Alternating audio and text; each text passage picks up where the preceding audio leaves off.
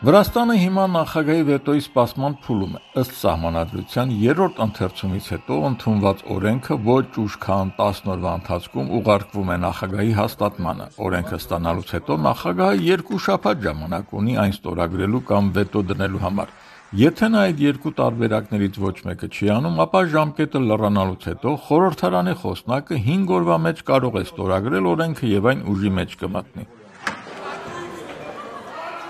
Չնայած նախագահ Սալոմե Զուրաբիշվիլիի վետոյի դեպքում խորհրդարանի մեծամասնությունը ի վիճակի է այն հաղթահարել, իշխող ուժը ցանկանում է, որ գործը դրան չհասնի։ Իշխանության ներկայացուցիչները պատրաստակամություն են հայտնել նախագահի վետոյի քննարկման փուլում երրորդ ընթերցմամբ ընդունված օտարերկրյա ազդեցության թափանցիկության մասին օրենքում խմբագրական ուղղումներ կատարել եւ այդ կերպ լուծել ընդդիմության եւ միջազգային գործընկերների հետ հակասությունները։ Նախագահ Զուրաբիշվիլին կտրականապես դեմ է իշխող ուժին պարզերես անելու նման տարբերակին։ Ոչ եւ երբեք, ասել է նա օտարերկրյա դիվանագետների հետ հանդիպմանը։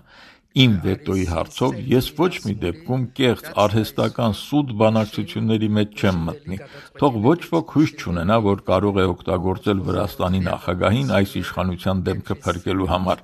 ասել է Զուրաբիշվիլին Վրաստան այցելած Լիտվայի, Լատվիայի, Էստոնիայի եւ Իսլանդիայի արտգործնախարարների հետ հանդիպմանը։ Նրանք հանդիպումներ են ունեցել Վրաստանի նախագահի, վարչապետի, խորհրդարանի խոսնակի, քաղաքասարակության ներկայացուցիչների հետ։ Նրանք նաև մասնակցել են Թբիլիսիի բողոքի ցույցին։ Մայիսի 15-ին ժամանելով Թբիլիսի, նույն օրը երեկոյան նրանք միացել են դեպի խորհրդարան շարժվող երթին։ Լատվիայի արտգործնախարարը առանձին, իսկ Լիտվայի, Էստոնիայի եւ Իսլանդիայի արտգործնախարարները ելույթ են ունեցել հանրահավաքում։ Ukrainians are dying every day for the right to be free Europeans. Իշխող վրացական երազանքի ներկայացուցիչները խստորեն քննադատել են նրանց այդ արարքը համարելով ոչ բարեկամական ժեստ, նույնիսկ ուղակի թշնամություն։ Ծառմոուտգնելի է ուբրոց։ Ну албат ისიც არა აქვს კარგად გააზრებული რომ შანტაჟის ენით սա դրսից երկրում հեղաշրջում ապստամբություն հրահրելու փորձ է սա բարեկամություն չէ սա ուղիղ թշնամություն է երկրում բևեռացում սերմանելու փորձ Ռուստավի երկու հերոստանգերության եթերում հայտարարել է վրացական երազանքի գլխավոր քարտուղար Կախա Կալաձը։ Խորհրդարանի խոսնակ Շալվա Պապուաշվիլին արտգործնախարարների արարքը համեմատել է խորհրդային կամ ռուսական քարոզչության հետ։ Այս վարկագիծը կարելի է սпасել խորհրդային կամ ռուսական քարոզիչներից, այլ ոչ թե Եվրամիության անդամ երկրների արտգործնախարարներից, օգնել տապալելու ժողովրդավարական ճանապարհով ընտրված իշխանությանը, քանի որ նրա ընդունած օրենքը ձեզ դուր չի գալիս, ասես խորհրդային պիեսից պատճենած ինչ որ բան լինի։ X սոցցանցում գրել է Պապուաշվիլին։